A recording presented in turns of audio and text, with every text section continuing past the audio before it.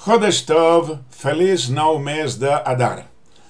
La nostra Torà se denomina, se denomina també la Torà de Moshe, però això no vol dir que fos un recull d'aquell home de fa 3.300 anys, com van opinar uns historiadors fa ara 200 anys, en un dels nombrosos intents de desacreditar el valor diví de la nostra Torà.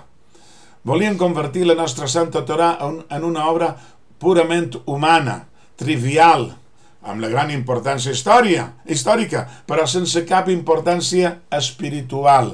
La volien desllorigar, buidar del seu contingut diví, convertir-la en una relíquia passada de moda.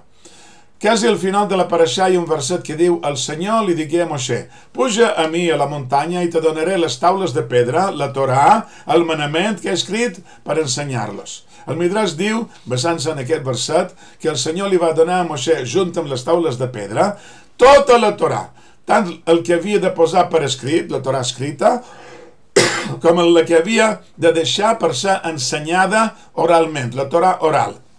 A més, fa la diferència entre la Torà i el manament, ja que la paraula Torà significa ensenyança i val molt més enllà de les nostres lleis. És tot el comportament, la moral, les virtuts.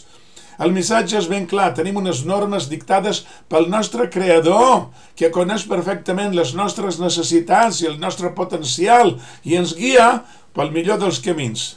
Shalom, shalom.